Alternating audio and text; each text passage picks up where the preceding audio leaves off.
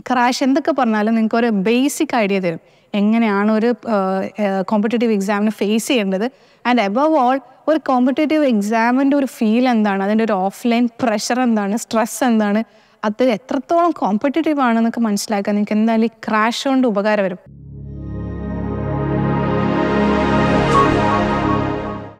Hello hi ഞാൻ തസ്കിയ അപ്പോൾ NEET exam ഒക്കെ ആവാനായി. ഏറ്റവും കൂടുതൽ നമ്മൾ ഈ അടുത്ത് കേൾക്കുന്ന ഒരു വാക്കാണ് ഈ ക്രാഷ് കോഴ്സ് ഇപ്പോൾ നമ്മൾ യൂട്യൂബ് തുറന്നാലും ഇൻസ്റ്റ തുറന്നാലും എവിടെ എവിടെയൊക്കെ തുറന്നാലും നമ്മൾ ഈ ആഡ്സ് ഒക്കെ ഏറ്റവും കൂടുതൽ കാണുന്ന സാധനമാണ് ഈ ക്രാഷ് കോഴ്സ് അപ്പോൾ ഇത്രയും ഹൈപ്പ് കൊടുക്കേണ്ട അല്ലെങ്കിൽ അത്രയും ഗ്ലോറിഫൈഡ് ആയിട്ടുള്ള ഒരു സാധനമാണോ ക്രാഷ് എന്നുള്ളതിനെ കുറിച്ചാണ് ഇന്ന് ഡിസ്കസ് ചെയ്യാൻ താല്പര്യം. അപ്പോൾ ഈ ക്രാഷിനെ കുറിച്ച് രണ്ട് സൈഡുണ്ട് ആസ് ഓൾവേസ് എപ്പോഴും ഒരു കോയിന് രണ്ട് സൈഡ് ഉണ്ടാവും എന്ന് പറയുന്ന പോലെ തന്നെ ഇതിനും രണ്ട് ആസ്പെക്ട്സ് ഉണ്ട്. അപ്പോൾ ഞാൻ രണ്ട് സൈഡും പറയാം.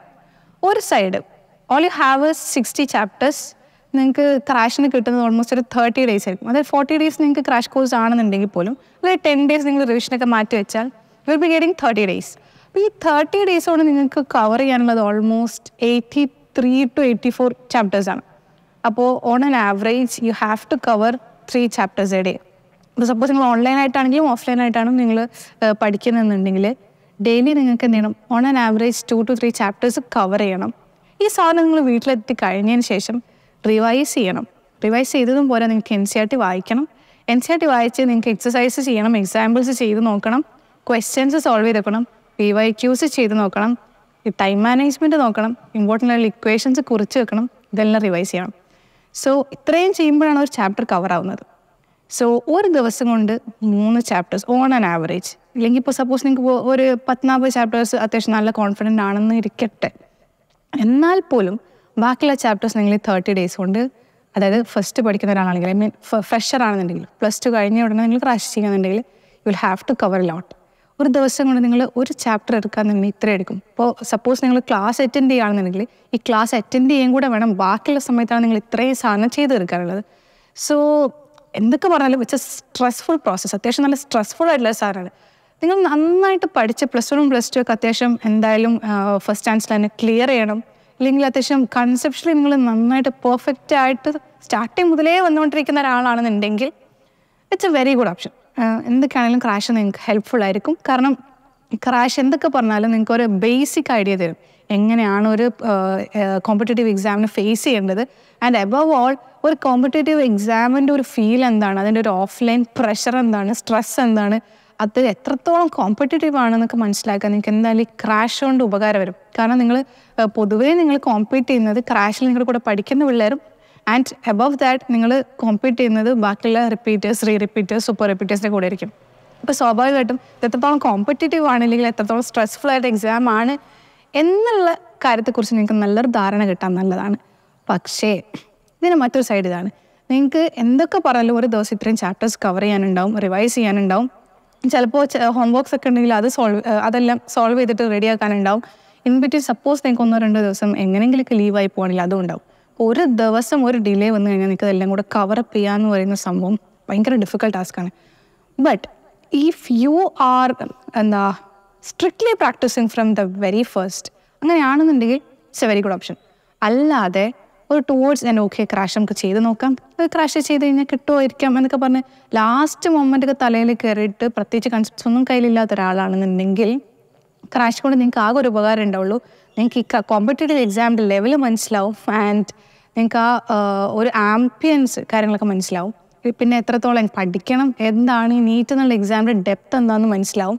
പിന്നെ എന്തൊക്കെ പറയാൻ കുറച്ച് സ്കോർ ഉണ്ടാക്കാൻ പറ്റും. ഇതാണ് ഇതിന്റെ ഒരു സൈഡ് ഇനി മറ്റൊരു സൈഡ് നിങ്ങൾ സപ്പോസ് ക്രാഷ് ചെയ്യുന്ന ഒരാളാണെന്നുണ്ടെങ്കിൽ ഇല്ല നമുക്ക് ഓൾറെഡി കുറച്ച് പ്ലാൻസ് ഉണ്ട്. റിപ്പീറ്റ് ചെയ്യാം. അല്ലെങ്കിൽ എന്തായാലും റിപ്പീറ്റിന് പോകാനുള്ളതാണ്. പക്ഷെ എന്റെ മുന്നിൽ ക്രാഷും ചെയ്ത് നോക്കാം.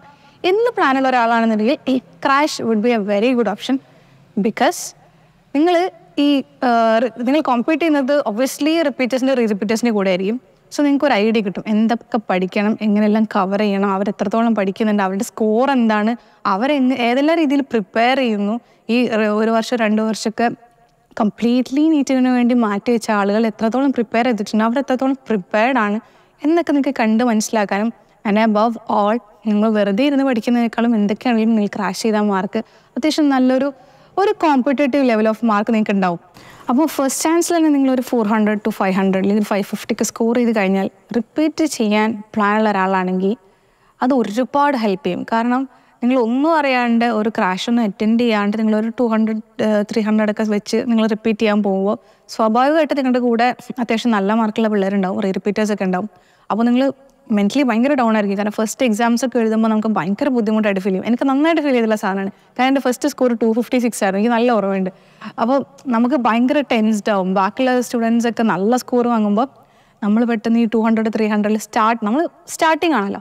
അപ്പോൾ അതിന്റെ ഒരു ബുദ്ധിമുട്ടുണ്ടാവും. അപ്പോൾ ഈ ഒരു പ്രഷർ ഓവർകം ചെയ്യാൻ എന്തുകൊണ്ടും നല്ലതായിരിക്കും? ഒരു ക്രാഷ് കോഴ്സ് അറ്റൻഡ് ചെയ്യുന്നത്. ക്രാഷ് ഒക്കെ അറ്റൻഡ് ചെയ്ത് ഒരു ഫോർ ഹൺഡ്രഡ് ഫൈവ് ഹൺഡ്രഡ് ഒക്കെ സ്കോർ ഓൾറെഡി ഫസ്റ്റ് ചാൻസിൽ വാങ്ങിയിട്ടാണ് നിങ്ങൾ റിപ്പീറ്റ് ചെയ്തിട്ടുണ്ടെങ്കിൽ ഒബ്വിയസ്ലി അത് തരുന്ന confidence would be very high so ഇതാണ് ക്രാഷിനെ കുറിച്ച് പറയാനുള്ളത്. രണ്ട് സൈഡ് ഉണ്ട്. Can be both positive and negative but above all എല്ലാവരോടും പറയാനുള്ളത് ഏത് കോഴ്സ് ആവട്ടെ അല്ലെങ്കിൽ thirty day strategy forty day strategy അല്ലെങ്കിൽ ഏത് ഇൻസ്റ്റിറ്റ്യൂട്ട് അല്ലെങ്കിൽ ഏതെങ്കിലും ബുക്സ് ഒരുപാട് കാര്യങ്ങളുണ്ടല്ലോ ഇപ്പം.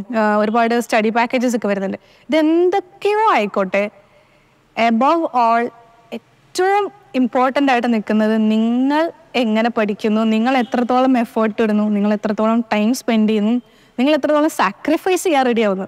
ഇതൊക്കെയാണ് നിങ്ങളുടെ സ്കോറിനെ ഡിറ്റർമിൻ ചെയ്യുന്ന ഏറ്റവും വലിയ ഫാക്ടേഴ്സ് അത് മനസ്സിലാക്കുക. അല്ലാണ്ട് നിങ്ങൾ ഏത് ഇൻസ്റ്റിറ്റ്യൂട്ടിൽ പഠിക്കുന്നു? അല്ലെങ്കിൽ എത്ര ഏതൊക്കെ സ്റ്റഡി പാക്കേജ് എനിക്ക് തോന്നുന്നു ഫൈവ് ലാക്സ് സിക്സ് ലാക്സ് ഒക്കെ കൊടുത്തിട്ട് ഇൻഡിവിജ്വൽ ട്യൂഷൻസ് ഒക്കെ പ്രൊവൈഡ് ചെയ്യുന്ന ആൾക്കാരുണ്ട്. പക്ഷേ അതിനേക്കാളൊക്കെ നമുക്ക് വേണ്ടത് നമ്മൾ എത്രത്തോളം ഇതിന് സാക്രിഫൈസ് ചെയ്യാൻ റെഡിയാണ് അല്ലെങ്കിൽ നമ്മൾ അതിനൊക്കെ എത്രത്തോളം പുട്ട് ഫോർവേഡ് ചെയ്യാൻ റെഡിയാണെന്നുള്ളതാണ് സോ ഇത്രയാണ് പറയാനുള്ളത്. കാഷ് ഇതിന് രണ്ട് സൈഡ്സ് ഉണ്ട്. Above all what determines your rank is what you put in okay അത് മനസ്സിലാക്കുക.